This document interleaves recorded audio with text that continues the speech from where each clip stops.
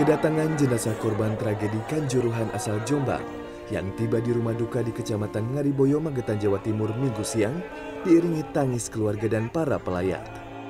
Korban bernama Munif Latiful Isan merupakan anak pertama dari dua bersaudara pasangan Mujiono 48 tahun dan Elik Setiawati 45 tahun. Korban ditemukan di salah satu rumah sakit di Malang dalam kondisi sudah meninggal dunia. Dugaan sementara korban meninggal terjebak di dalam Stadion Kanjuruhan Malang akibat terkena gas air mata sehingga kehabisan oksigen.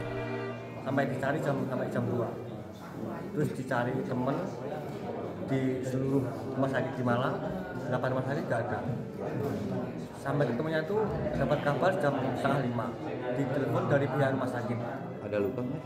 lukanya nggak ada Nggak ada ya. Mas berapa orang berangkat dari sini? 43 Tak hanya Munif Latiful Ihsan, seorang remaja asal Jombang, Jawa Timur juga turut menjadi korban meninggal dunia dalam tragedi Kanjuruhan. Kedatangan jenazah Muhammad Irsyad Al Junaid yang tiba di rumah duka disambut isak tangis keluarga dan kerabat serta tetangga. Menurut ayah korban, awalnya korban bersama adiknya berpamitan berangkat dari rumah untuk menyaksikan laga Arema melawan Persebaya di Kanjuruhan Malang. Sesampainya di sana, korban bisa masuk ke stadion. Sementara sang adik selamat karena tidak bisa masuk stadion akibat kehabisan tiket. Korban menderita luka di dada dan wajah setelah terkena tembakan gas air mata. Minggu sore, jenazah Irsyad dimakamkan di TPU desa setempat.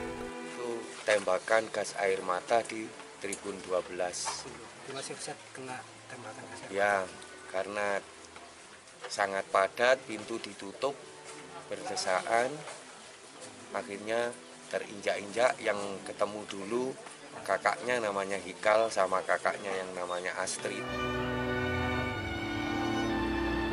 Duka mendalam juga dirasakan keluarga almarhum Bribtu Fajar Yoyo Pujono, anggota Polsek Dongko Polres Tenggalek yang meninggal dunia saat mengamankan laga sepak bola antara Arema FC melawan Persebaya Sabtu malam. Kedatangan jenazah Bribtu Fajar di rumah duka Desa Sukosari, Kecamatan Trenggalek, Jawa Timur disambut isak tangis keluarga. Usai disemayamkan di rumah duka untuk disolatkan, jenazah diberangkatkan ke tempat pemakaman umum Sukosari guna dilakukan pemakaman secara dinas kepolisian.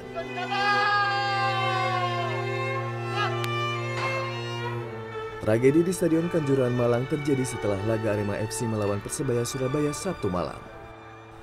Lebih dari 100 orang meninggal, dua di antaranya anggota polisi. Tim Liputan CNN Indonesia